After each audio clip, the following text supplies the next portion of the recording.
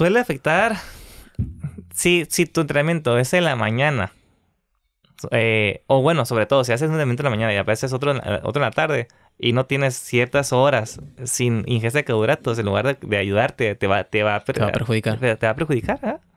O sea, no estoy en contra del ayuno intermitente, ¿no? Pero no es para todos.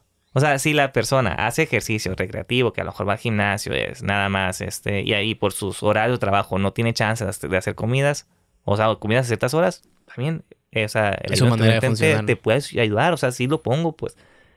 Pero si yo sé que la persona tiene tiempo de, de hacer sus comidas, ¿para, para qué vas a usar el ayuno intermitente? O sea, no, tiene sentido, pues. Y lo otro, si eres deportista de alto rendimiento, si te choca eh, el- la sesión de, de las partes de ayunos con tu entrenamiento, pues en lugar de ayudarte te va a perjudicar, pues. Y yo sé que va a haber deportistas que digan, es que yo lo uso y me funciona bastante bien. Sí, pero tú no eres todos, pues. O sea, Sí. si, si lo vemos ya como general, eh, la, la gran mayoría no le funciona a- tan, tan bien como, como muchos dicen, pues. Igual lo de la proteína que comentabas, que la utilizas, la proteína de...